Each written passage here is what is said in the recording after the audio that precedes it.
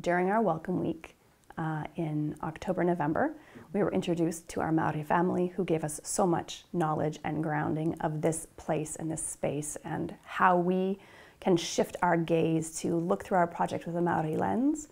And then we were given our um, jade piece, and it was explained to me that this is an adze. It's in the shape of an adze, and these were made to build waka.